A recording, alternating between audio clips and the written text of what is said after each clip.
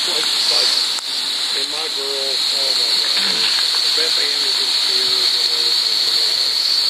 You know, Ellie Mae. That's what I call. Beth Ann, I call her Ellie Mae. She see all this stuff.